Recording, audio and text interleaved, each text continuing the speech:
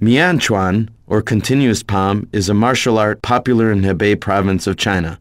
The main philosophy is to be defensive, then offensive. Softness turns to hardness, thus giving the practitioner the upper hand in combat. This style was first presented to the general population during the 1936 Olympic Wushu demonstration.